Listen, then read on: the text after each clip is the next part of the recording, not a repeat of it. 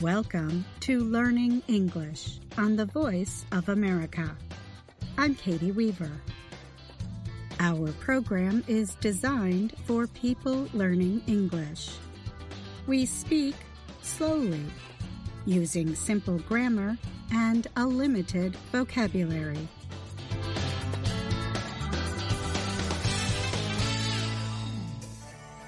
Today on the show, we have an education report from Dan Friedel. We also hear from Dan Novak, Brian Lynn, and John Russell. We close our show with Words and Their Stories from Anna Mateo. Now, let's go to Dan Novak. A recent study says illegal loggers have destroyed about 18,500 square kilometers of public forests over the past six years in the Brazilian Amazon rainforest. But, the study says, the nation's federal police do not investigate the loss enough. The wood cutting took place in state and federal forests that are unallocated. That means they are neither part of a national park nor are they considered native territories. Official data says the Brazilian Amazon has about 580,000 square kilometers of unallocated forest.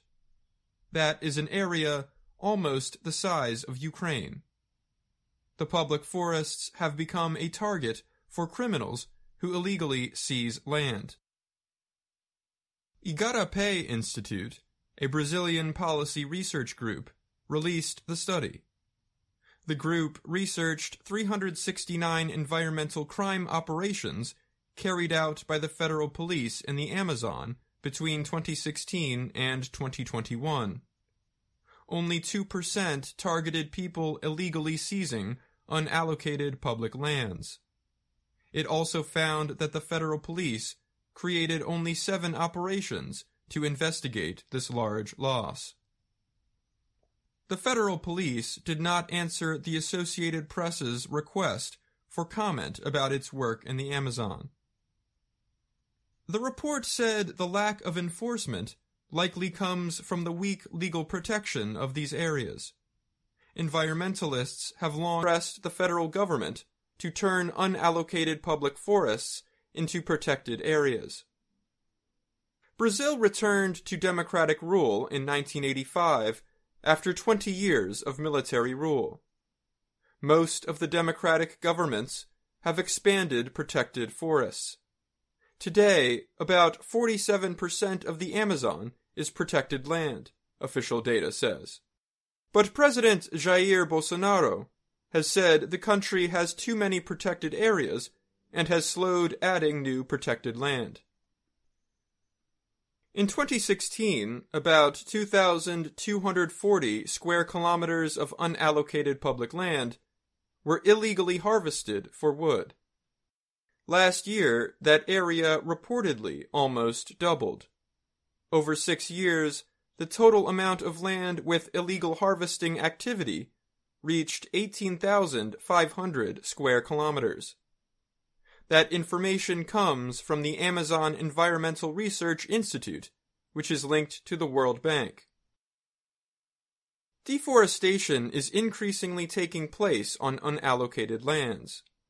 In 2016, unallocated land made up 31% of all illegally cut forest. Last year, the amount reached 36%. The Brazilian nonprofit group Climate Observatory said that almost half of Brazil's climate pollution comes from deforestation.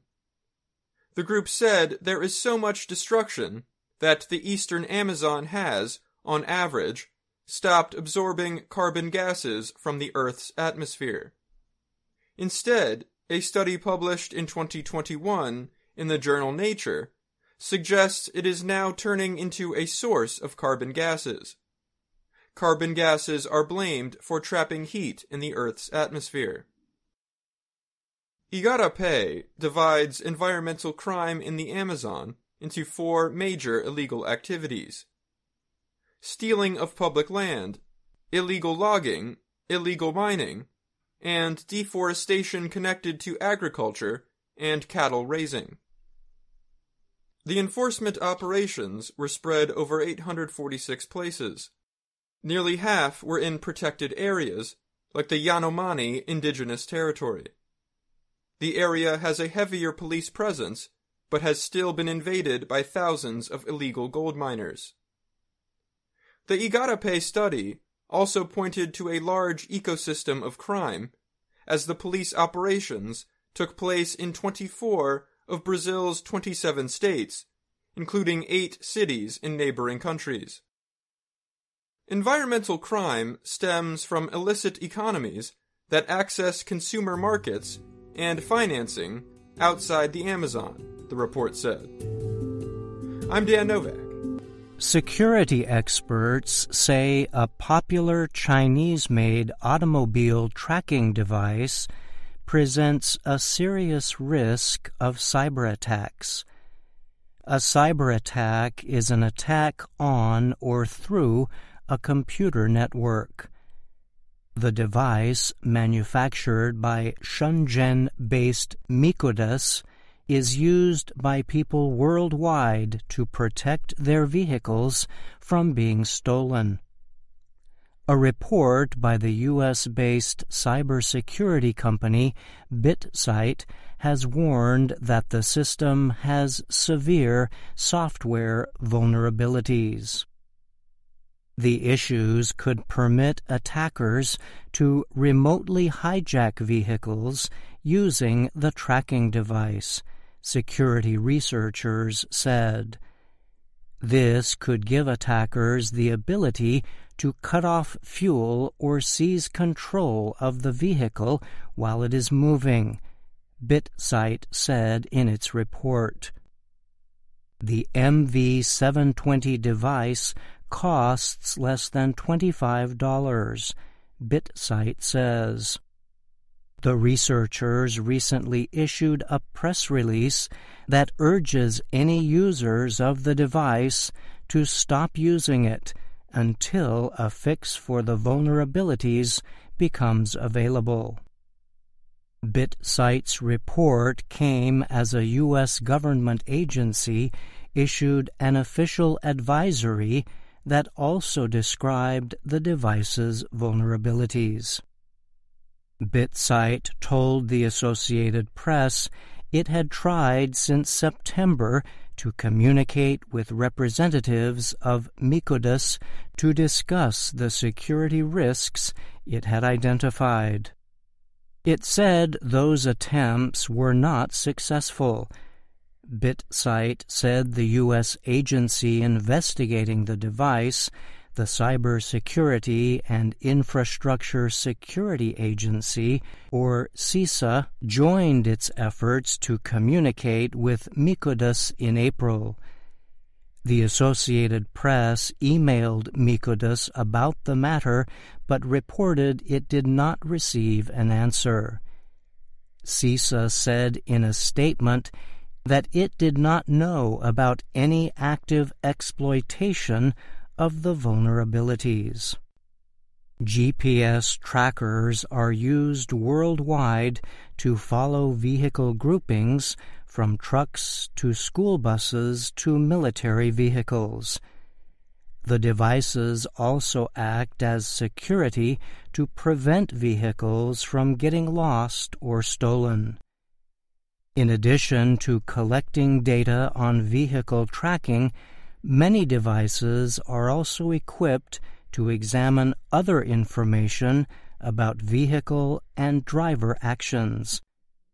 This information could include driver behavior and fuel usage. Many of the devices are able to control a vehicle's fuel or locking systems and more. Using the MV720 device, BitSight said, a cyber attacker could remotely cut off the fuel line of a vehicle in motion. An attacker might also be able to see where a vehicle is in real time for spying purposes, said BitSight researcher Pedro Umbelino. One of the device's main vulnerabilities is that it comes with a default password that more than 90% of users do not change, BitSight found.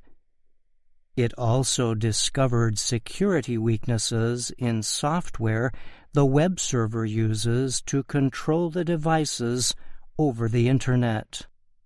Micodus claims that about 1.5 million of the devices are being used by 420,000 customers.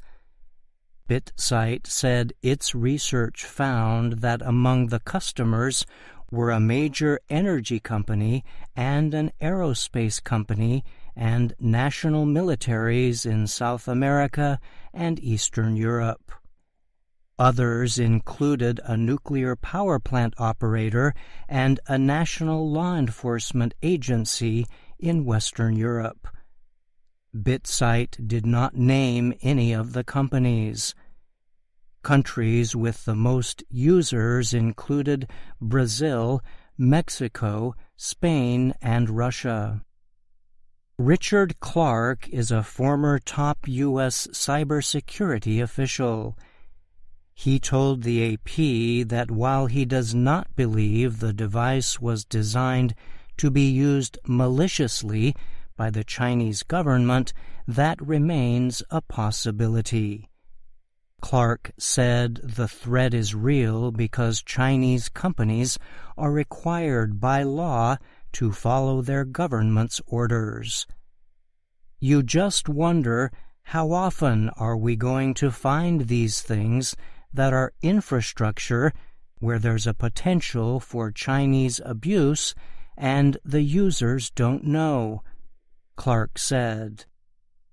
I'm Brian Lynn. Researchers recently offered the most complete examination yet of the history of penguins. Penguins are short-legged flightless seabirds that mainly live in the southern half of the world. The researchers studied the genomes of the 20 living penguin species and subspecies. With more than three quarters of known penguin species no longer existing, the researchers also included in their study 50 fossil species using skeletal data. The researchers said penguins came from a common ancestor shared with a group of seabirds that includes albatrosses and petrels. Penguins first developed the ability to dive, like a puffin, and then lost the ability to fly as they adapted to water. The earliest known penguin is called Waimanu manneringi from New Zealand. It is believed to have lived 61 million years ago. Daniel Ksepka of the Bruce Museum in Greenwich, Connecticut, is the co-writer of the study that was published in Nature Communications. We know penguins evolved from flying birds, but that happened over 60 million years ago, and we need to look to the fossil record to piece together where, when, and how that happened, he said. Ksepka noted that penguins are appealing animals. He added that they are ridiculously charming creatures. They love, they fight, they steal, and because of their funny upright posture, it's really easy to imagine them having all the same motivations as people. Motivation is a term that means a cause or reason for doing something. The study proposes that changes in world temperatures and in major ocean currents have been important drivers of penguin evolution. Penguins live mainly in the southern hemisphere. The Galapagos penguin is the only one found north of the equator. The University of Copenhagen's Theresa Cole was the study's lead writer.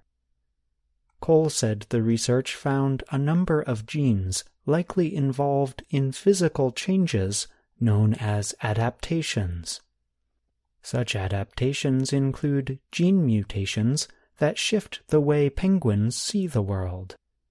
Penguins' vision is more sensitive toward the blue end of the color spectrum. Blue light goes more deeply into the ocean than light at the red end of the spectrum.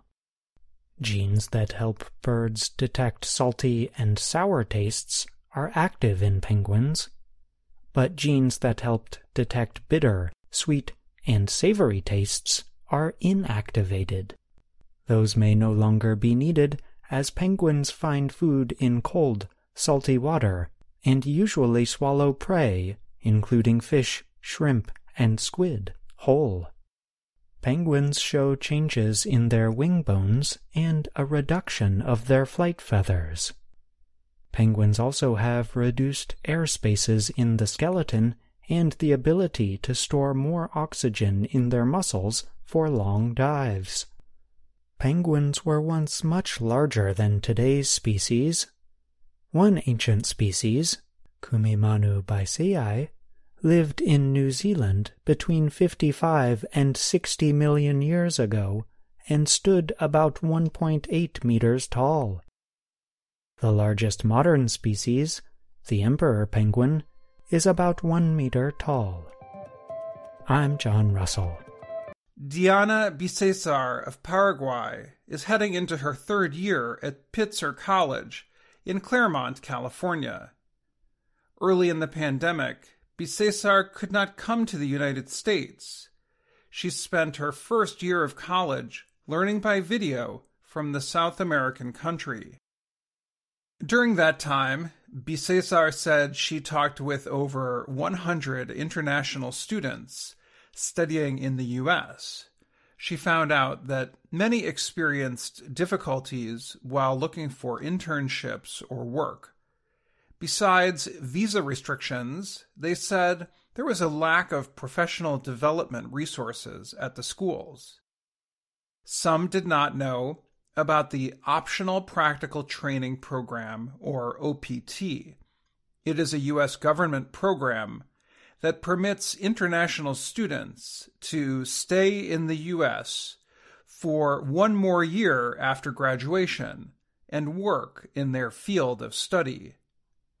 I have met with many students who didn't know about OPT or who didn't know how to write an American style resume, who didn't know who to reach out to for help. And they have to go back to their countries because, you know, they didn't have enough time to, to work on their applications, to do their research because it was too late. That is when Bisesar started working on a website designed to help international students with internships and job hunting in the U.S. After almost two years, Mapis was launched last February. The site is currently open to a small number of users. Bisesar said she hopes to make it available to all international students later this year, and she is building the website while working on an internship program at the technology company Meta. One professional who knows what it is like to be an international student is Eun-Kyu Lee, who came from South Korea in the 1980s. He is now a professor and a leader of Syracuse University's business school. Lee many international students know that it will be harder for them to find jobs than American students if they want to stay in the U.S. As a result, they start learning about visa and work programs early on. He said it is a good idea to join a networking group centered on international students, such as MAPIS, along with a more general service, such as LinkedIn. Uh, if you don't have that kind of network or mentoring, then the only resource you may have is just the official job posting, which receives hundreds of resumes. And there, it may be really difficult for international students to stand out. Bisesar agreed that it is important for international students to hear from successful people who were once new to the U.S. It helps them feel more confident about their own abilities. In 2022, MAPIS organized several online gatherings to connect students with those working in business, journalism, and technology. Bisesar told VOA that learning English changed her life. She said she would not be where she is today without a scholarship from the English Access Micro Scholarship Program in Paraguay. I always say, you know, like I was born again when I was 15, when I got this scholarship. My whole life changed after that. Coming to the US for college also opened other doors for me, like this amazing internship that I have right now, and also creating Mappies. So, yeah, I, I always motivate people to, to study English. Bisesar also attended the Education USA Academy at Temple University in Philadelphia one summer where she lived and learned with Americans and other international students. Beyond STEM, or subjects in science, technology, engineering, and math, Bisesar wants MAPIS to be a place where international students can learn about business, social programs, and government. In fact, Lee, the Syracuse professor, said community service projects are a great way for international students to expand their networks and learn to work with Americans.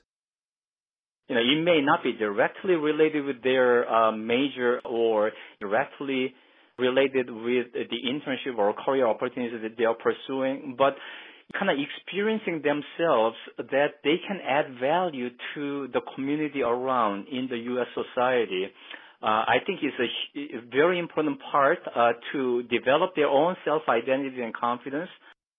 Bisesar agreed. After they go back to their countries, they usually make a big impact, she said. I'm Dan Friedel. And now, words and their stories from VOA Learning English.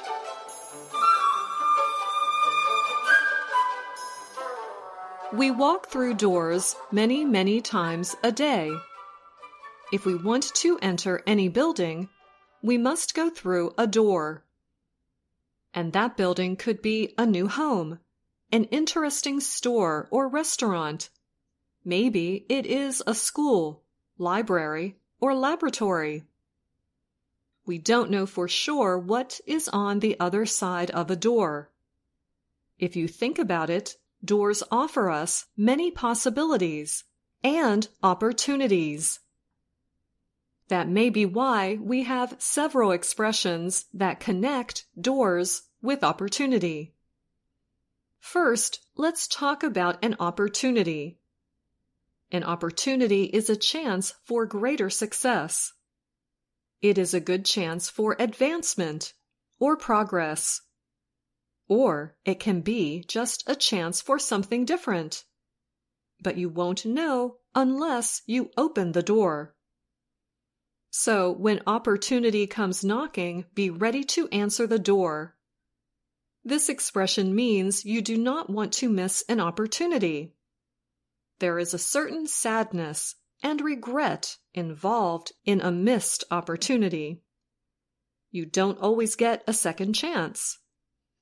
That is why we also say, opportunity knocks but once. You may also hear it said this way opportunity seldom knocks twice. Both expressions mean that great opportunities are usually only offered to us one time. We use these expressions to urge people to act quickly and to take an opportunity when it comes to them.